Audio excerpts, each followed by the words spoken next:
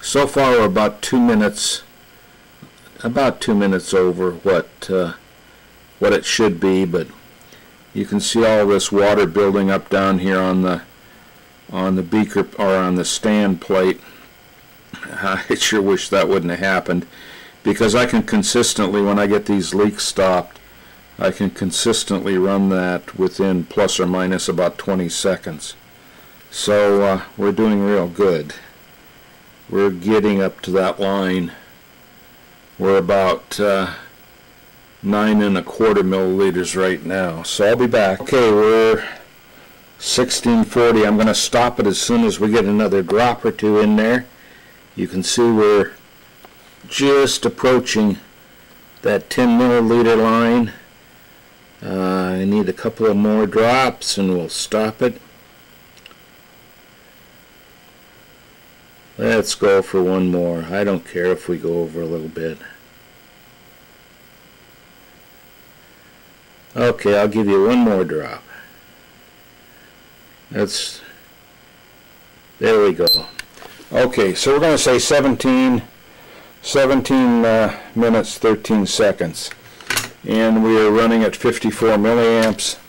And a lot of my time was lost here because of the leak I have in my containment vessel. I'm to try, I don't know if I had a had a date on this thing or not because my battery went dead on the camera and whenever you start it over the date gets all skewed. But here's the numbers you want to run against Faraday's first law. Starts out at 66 uh, milliamps plus or minus 2 and ends up in this case that we just ran 54 but the run here is 58 plus or minus 2 which comes up to 311 milliamps averaged by five measurements is 0.62 or 62.2 milliamps. The time of this run was 13 minutes 51 seconds for a total of 831 seconds. The temperature in Kelvin was 296.25 and the pressure was 1.09 atm for a volume of 10 milliliters. So run those numbers and see what you come up with. Uh, you want to see a schematic of this guy? Alright, I'll show you one. No, there are no values there. But uh, you're experimenters, aren't you? Okay, here we go. You can see the beaker on the left-hand side. The two-coil system. I've removed, well, there's no sense even discussing that because here's what I'm using. Uh, we have a ferrite in series with the plus lead to the one of the coils of the uh, beaker.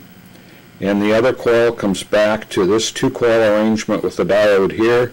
These are L3s this is an L2 here. And this is a standard configuration for a SEC exciter except that you see there's a lot of missing parts from what are in a normal uh, 18X so there's one capacitor left in there which bypasses the uh, plus rail to the L2 and the base resistor back to the negative, but you see that all of the positive potential is passing through the electrolyzer or through the cell, and also we're getting increased productivity by this particular coil arrangement at the bottom, which is uh, uh, an L3 and a capacitor. So there's the schematic. Pretty simple, isn't it?